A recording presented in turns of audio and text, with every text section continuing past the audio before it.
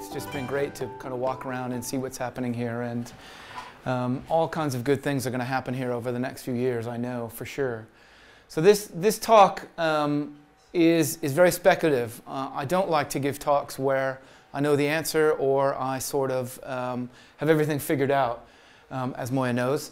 Um, when, she come, when we have conversations, it's always about questions and thinking about things. So this idea of the end of the fair trade citizen consumer. So this, this builds on some work that I've done previously around fair trade and sort of trying to follow the market and think about what has meant by uh, the politics around fair trade as it's mainstreamed, as it's been corporatized, and what that means about the relationship between fair trade as a product, consumption, consumer politics, and fair trade movements. And then think about this idea of post-greenwash. This is an idea that it's just literally an idea. Thinking about, again, the kind of corporatization of sustainability and what that might mean. And then, and then this idea of resilient capitalism. Well, we need to talk about resilience because it's a buzzword, but it's the idea that capitalism is, is making uh, the world safe for capitalism, okay? And thinking about sort of that. And, and I don't apply these in, uh, explicitly in this talk. They're sort of more in the background. But hopefully you'll see the connections between those few things as I'm going through this. So my speculative talk. So can you guys see that? Yeah, yeah is that all right? Okay. So this question comes from this question of what are the implications for fair trade and ethical and sustainable consumption with the mainstreaming of fair trade markets? And what does this really mean for the kind of figure of the fair trade citizen consumer? And I'm going to talk about what I mean by the citizen consumer and the way that this figure has been developed in, in the literature and popular culture more broadly. And then, and then kind of try and disturb that a little bit more. And that's what I want to do with this work. So the inspiration for this talk is my ongoing interest in thinking about and working to kind of conceptualize ar uh, around this mainstreaming and the kind of so-called success story of fair trade in the UK. It's the largest market in the world. It's over a billion pounds. And that is something to, be, to think about um, uh, very hard in terms of what it's doing, how it's working, and how it's been thought about, and how it's shifted over time. And then my ongoing interest in working through the practices and politics of ethical, alternative, and sustainable consumption as a part of two things in particular that I've started to think about. This idea of neoliberal sustainabilities, much broader kind of concept or idea. And underneath it is the idea that consumption and consumer choice is the primary pathway to creating more sustainable societies. So if we only choose differently, we chose organic foods, we chose sustainable products, things would then fall in line and we would become much more sustainable. And thinking about the kind of limit, limits and the, and the benefits to that, that neoliberal sustainability is about the commodification, the marketization of care, responsibility, and solidarity. And thinking about fair trade, it's about the marketization of development. You pay for a fair trade coffee, part of that money goes back to promote development with the poor and marginalized farmers. And the way that neoliberal sustainabilities have distinctly responsibilized consumers as the ones to create and foment change for the care of the self, the planet, and for others. So those are embedded in this idea, this much more broad way of conceptualizing about this um, through this idea of neoliberal sustainabilities. And this, this idea is really illustrated. I've used this quote multiple times because it's so perfect. And it comes from Harriet Lamb, the head of the Fair Trade Foundations. It's from 2006, but I think it illustrates what I'm talking about. So this is her being quoted talking about fair trade in the newspaper. What works so well is that although we are putting a spotlight on the negative, there is a positive solution to hand which everybody can be part of. You don't have to wait for government to move. You don't even have to wait for companies. Because if you can push them into acting by buying these products, so you've got all of these NGOs, the church groups, and the community-based organizations, but the really fantastic thing about fair trade is that you can then go shopping. It's simple as that, okay? Illustrating that idea of consumers as the solution and the way they've been responsibilized. And then this idea of post-greenwash.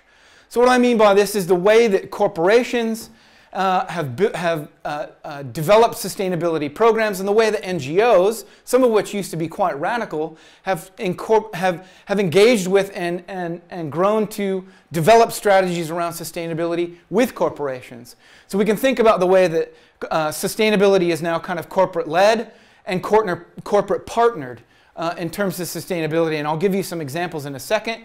and the way sustainability has really been turned into a brand, okay? And that sustainable branding is, in my, in my estimation, becoming more important than actually doing the sustainability. So we've moved beyond greenwash into post greenwash, into a post greenwash era. I am happy for you to argue with me about that, but I think that's something, or, or one way to think about kind of what's happening at the moment when we think about sustainability and the politics around sustainability.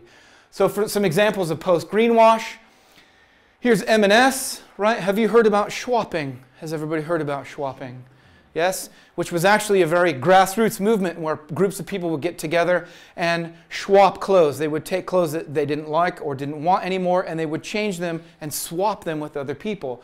Well, M&S took this idea and said, we're going to develop it as a part of our corporate ethos. So they've come up with, well, and there's Joanna Lumley and some other celebrities. That's my other part, another part of my work that I'm not going to touch on today, but the role of celebrities is really important in this.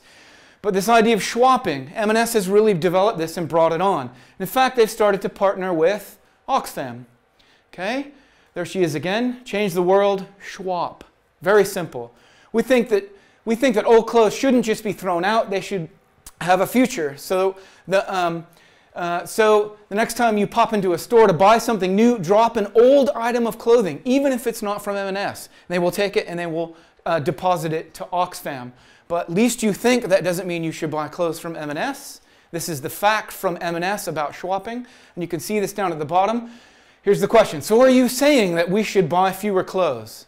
Swapping is about challenging and changing the ways that we shop. We're not asking you to stop buying clothes, rather aiming to create a buy one, give one culture, where reusing, recycling, and reselling old clothes becomes the norm. So you can buy new stuff, you can just bring your old stuff in and feel good about it. Another example of this is, I don't know if you've seen this, Unilever has this project Sunlight. Have you seen this? It's massive. It's all over the place. Okay? The idea is that you do individualized actions. They're really supporting it. They've embedded themselves in thinking about us as parents and the future for children and being sustainable and selling us sustainable products through, and of course, they're all Unilever related brands. There have now been 133 million acts of individual sunlight. You can go on, you can challenge yourself, you can pledge yourself. Right? There's a whole movement around pledging around sustainability and changing your behaviors and actions. Right? Again, this corporate-led sustainability. And if you didn't know, Unilever is now partnered with our left-wing newspaper, The Guardian. They have their own area of, it's called the Unilever Partner Zone. And there's, uh, there's now a growing confusion between whether it's about a story about sustainability or choosing products or being more sustainable, or a product placement. And you see that over and over, and even more now. That um, uh, you can see this across uh, news and media that you see product placements that start to appear like news. The Guardian has taken this on full bore, and they have their own dedicated web page sponsored by Unilever in their Live Better Challenge section. Okay, so this is idea, this partnership uh, this idea of post-greenwash. So there's some examples around that. In essence, this is about the making of sustainable or resilient capitalism. That's where the title comes from. Okay, so I'm, I'm seeing these as wider processes, and, and you'll see in my argument at the end is that fair trade and the co-branding that now goes along with that is, is at the forefront of this. So let's talk about the figure of the fair trade citizen consumer, because we need to, we need to talk about that to think about what I'm going to argue in the next in the second half of the talk. This is the figure that has kind of arisen in both academic and popular cultural accounts. You can see that again in Harriet Lamb's quote about what consumers can do. It's about going shopping. This is the figure who uses ethical consumption to enlist themselves and their ordinary actions into broader projects of social change. There are in the literature both celebratory but also critical takes on this, so I don't want you to think that people haven't looked at this critically. Many people have but there is still this figure that is there and has been built up and is one that we think about and engage with when we think about sustainability and sustainable consumption. So my focus here is to destabilize and disturb this figure a bit further. So let's think about it. What is the citizen consumer? How have they been constructed? This is a person who actively chooses specific goods to enact their politics. These are about conscious decisions. It is about choice, which I'll get to in a second. It is about a kind of conscious ethics and morality that goes along with that, that's embedded in this figure. And they also vote with their wallet. I'm sure you've heard this term over and over again. Vote with your wallet. Choose particular products. And that means that people, these citizen consumers, often pay more for ethical goods. Okay, another line of thinking. I've embedded some, some, some criticism into this already. This is a kind of economic rationed form of citizenship that's very problematic. Okay? When we think about this, I'm not going to go into it a bit more. I've got, I've got some other thoughts about that, but I'm, not, I'm going to continue on with the talk. So, this idea that this is an economic rationed form of citizenship. You have the money, you can buy fair trade, organic coffee, you can buy organic products. Those who can, can afford or have the cultural capital to buy fair trade, for example, are those who can get to partake as citizens. That's a problem. But that's also embedded in this idea of the citizen consumer. Second, individual choice. This kind of pre consumption decision making is politicized and is political, as active choice is embedded with political meanings and real effects. An idea of ethical development. Again, we think about fair trade. You make that conscious decision to make an, a choice for that product. That choice is then embedded with politics and also real effects. That money then goes back to the farmers. It is an, uh, individual choice is an enactment of these politics through a kind of moralized act of local and global connection through this choice. So it's not just about being a citizen consumer, it's also about more about global citizenship. This idea that you're connecting to other places, other environments, other parts of the world, other people. And there's that. It is individual choice is an act of care and responsibility for others and other ecologies. So care and responsibility tends to be narrated on the label and the marketing. If you know some of my other work, I focused on this. So you get to see where that money is going, and it's put in a language that makes those connections specifically and tries to develop that idea of the citizen, consumer, and global citizens. This is from Fair Trade. This is some of their online campaigns where you can meet the producers and then this statement over here, a nice fair trade cuppa for you, stable fair trade income for tea pluckers. Okay? So that's also embedded in this idea of individual choice, and it has to be narrated through these images, which it is, and, and they're very powerful. Moving on to this idea of consumption. Consumption then is thought about as an isolated moral act of local global connection. It is an act of care or responsibility for others and ecologies, much like individual choice. But because care and responsibility are attached to a commodity and consumption, they are effectively given a price and thus commoditized or commodified. Again, going back to that idea of neoliberal sustainability. Other work has focused, Clive Barnett's work, uh, and they've written a book called Globalizing Responsibility. What they say is that these individualized consumption acts can then be collective or collectivized or aggregated uh, for political outcomes. Again, the idea is that fair trade, you make a fair trade purchase, fair trade coffee. Some of that money goes back to the Fair Trade Foundation. The Fair Trade Foundation takes that money and uses it to lobby the UK government to change trade rules. This is the idea of cha a chain of kind of consumption effects. That means that these individualized actions can be aggregated and then put forward for political outcomes. All right, so now I've set the scene. This is the idea, the kind of figure, the essentialized figure of the citizen consumer. I need to let you know that the UK fair trade market is mainstreamed. That is important. I'm going to give you some data. Of the global market for fair trade goods, which is 5 billion euros, over 1.78 billion pounds is in the UK. Sainsbury's is the world's largest seller of fair trade products uh, at 276 million pounds in 2010 and they expect their sales to rise to 500 million in 2015. One in three bananas sold in the UK is now fair trade. 44% of bagged sugar sold in the UK is fair trade certified. 25% of all roast and ground retail coffee in the UK is fair trade certified. A lot of that sold through Cafe Direct, who is one of the kind of poster, poster companies for successful fair trade businesses. Chiquita, Starbucks, Tate & Lyle, Nestle, Cadbury's all have fair trade lines of goods. Mainstreaming has been pursued through a series of movements and processes. It's been pursued through getting fair trade goods into supermarkets to expand sales. Supermarkets have devised their own label brands of fair trade uh, products, which has actually been incredibly fundamental in shifting um, some of the ways that it gets to us. I'll show you a map of that in a second. There's been a, a, rise of exclusive supplies in supermarkets, so Sainsbury's only sells fair trade bananas. There's the rise of the kind of fair trade only universities and caterers. And then co branding is the new move, right? So co branding with multinationals. We get co branding of fair trade with Nestle, Mars, and Cadbury. And that's what I'm going to talk about in the second half of this talk. What co branding means, what it means for the idea of the fair trade consumer, and uh, the fair trade citizen consumer, and what we might think of as the rise of the fair trade corporate citizen. So we've seen over time the kind of conventionalization, the ordinaryization, the normalization as everyday choice through expanded availability, cheaper prices, and co branding of fair trade goods in the UK.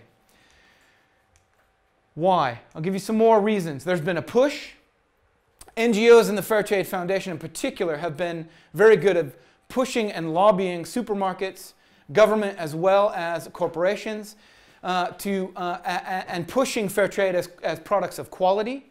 Okay? So quality has increased, therefore more people want to sell it. It tastes better.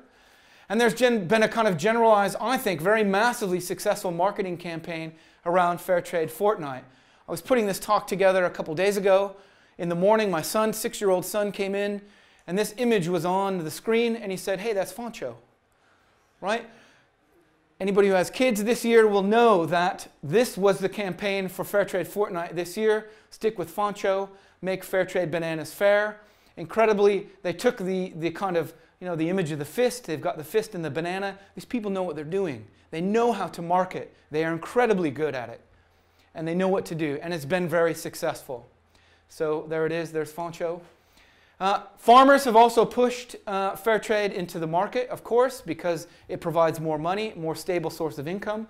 And then citizen consumers themselves have done things like started guerrilla campaigns to go into supermarkets and ask for supplies of fair trade, written letters to companies like Starbucks to say supply fair trade coffee for us. And then fair trade companies as well have also been quite successful in getting it into the market. There's been a pull as well. Supermarkets certainly want the halo effect of fair trade and what it brings to them in terms of competition, right? 75% of supermarket uh, uh, food sold in, in this country is, is through four, uh, four companies. This, in effect, tries to diffuse that, those sorts of critical questions about control of the food supply.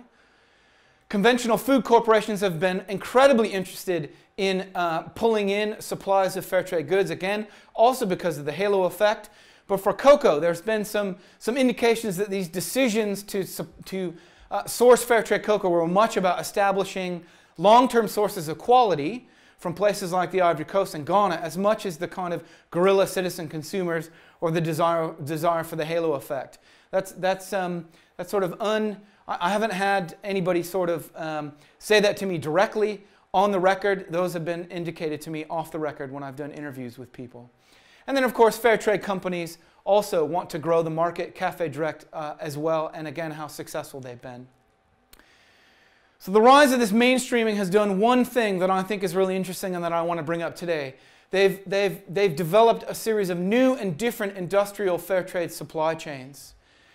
The old market used to be you would have the farmers and the cooperatives. You might, in say somewhere in Africa or in South America, you might have an importer in the United States or in the UK, and that importer would sell it either to a company or would take it as an importer, say Cafe Direct, and put it on the shelves of a retailer. This is no longer the case. This no longer this this sort of uh, direct connection between the producers and the importers and the companies no longer it, it exists for some companies but on the majority of the market, as it's grown, it no longer exists. So you get supply chains that look like this. Okay? So here we might see the, uh, this, this number one might be the, um, the, the original producers export themselves into the shipping company to the importer, to the brander, the manufacturer, to the retailer, to the consumer. Now we get the rise of things like a, just a broad fair trade market. So producers sell it onto the open market those fair trade supplies, they have no idea where they come from, then move to the shipping company, to the importer, another licensor or a brander, or in fact something like a, a, supermarket own brand label company, uh, own, own brand label product will be developed, moved to the retailer and to the consumer. So you, you see the sort of the, the, the loss of that transparency and the loss of those direct, direct connections over time. But you also see the rise of the market and the market grow. And this is what, I, what I've called the kind of the fair trade's Faustian bargain. So to expand the market and grow supplies and thus provide more development, right? Larger markets, more sales means more development goes back to the smaller farmers, to marginalized producers. The premium for fair trade across the market in the UK uh, was 23 million in 2013, so that has, has moved up exponentially as the market has expanded. That's the amount of money that has gone back as the premium for development, so we get, quote, more development. This has brought in some of the most problematic and I would argue most powerful players to fair trade networks. Supermarkets and global multinationals that I think fair trade was set up to subvert and be resistant to from the beginning. The idea of the Faustian bargain. Moving away from these kind of direct trade relations of solidarity that define the movement and the market, as I just showed you so on that map and those supply chains.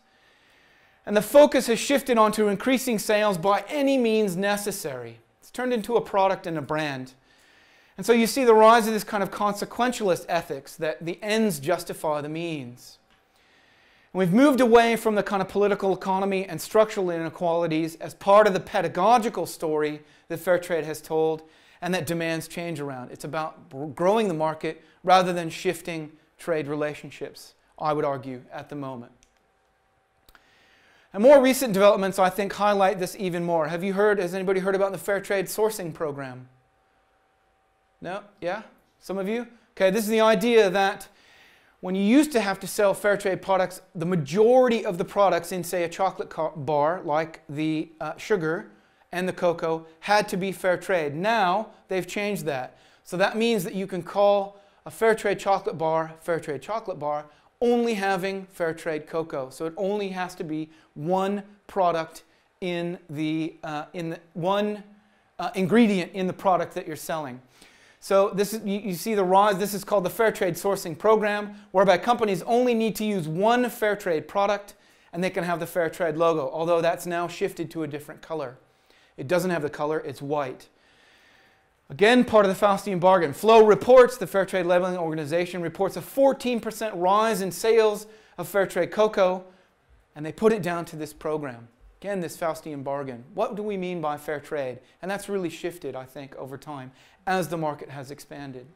All right, so I want to move on to what I call this kind of deepening of the, bar the bargain, this idea of co-branding of fair trade and multinational brands, and here they are. These are some of the most popular lines, as those of you who buy chocolate know, in these companies' uh, series of lines of products that they sell.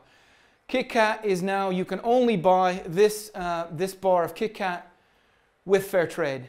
That line, of, that line of product within Nestle, the Kit Kat line, is only fair trade, uh, the only a fair trade Kit Kat. Dairy milk at this size is only fair trade. Maltesers, and there's the new, there's the new label, the white one, so it's the Fair Trade um, sourcing program. These Maltesers of that size in this line are only fair trade. Is that clear? So these lines can only be purchased as fair trade products. You can no longer make a choice, okay, in here, and that's going to be my kind of big point. And the idea that you can't make a choice brings up some kind of interesting conceptual things around this idea of the citizen consumer. So the implications of fair trade's co-branding. So this in effect is what I'm calling this kind of this idea of the end or the death of the citizen consumer. Could be good, could be bad. We can argue about that. But I think conceptually it's interesting. So the pathway to the citizen consumer is gone. Active choice with these products in these lines for fair trade in these widely popular lines is gone. There is no choice for fair trade good in these lines of goods. Again, part of the Faustian bargain. It opens up, and a question Does it open up because these are cheaper priced? Because they're in existing brands? Does it open up a pathway to, to more normal citizens? Those people who used to buy Kit Kats or dairy milk at that size or Maltesers before now can only buy fair trade goods. Is this a kind of democratization of choice? It's a question. Choice has been, to me, thinking more critically about it, choice has been depoliticized, demoralized, and deconnected with these products. Ethical consumption as a kind of a function of these lines is normalized and is everyday now more than ever. The ethics of ethical consumption have disappeared and no longer exist. Instead, they are replaced with the ethics of brand consumption. Continuing on, other implications. Fair trade itself gets another quality bump. It was always about increasing the quality of the products. It now is associated with already considered high quality products. The fair trade logo, this is important, takes on new and broadened meanings.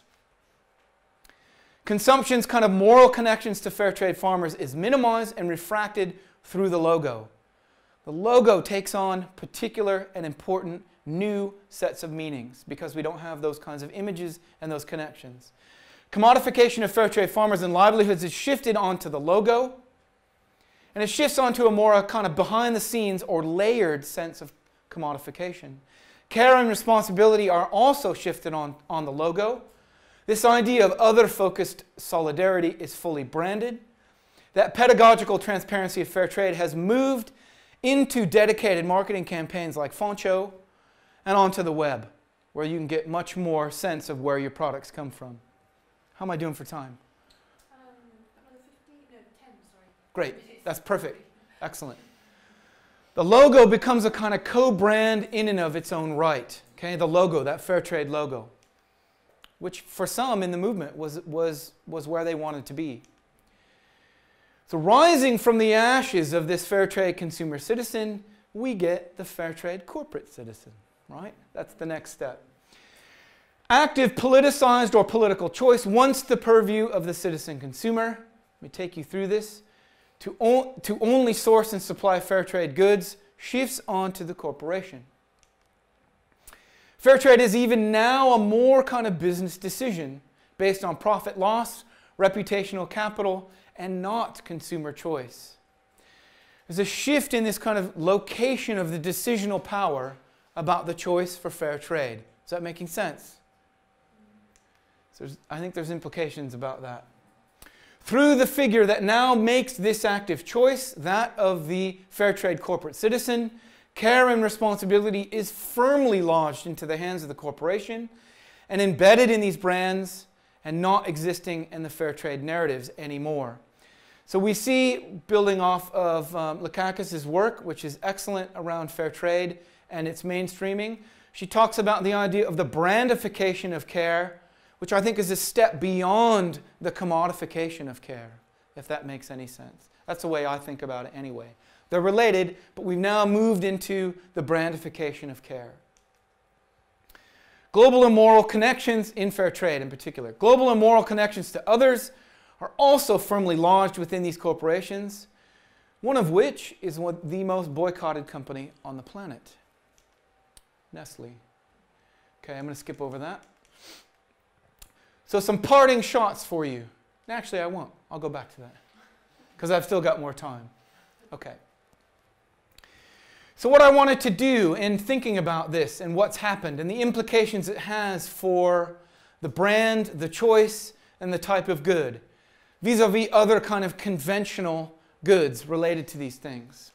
So, we think about the early and the niche fair trade goods, right? So, so put your mind back to the good old days of Cafe Direct and a few kind of fair trade chocolate companies that were separate, that weren't related to corporations.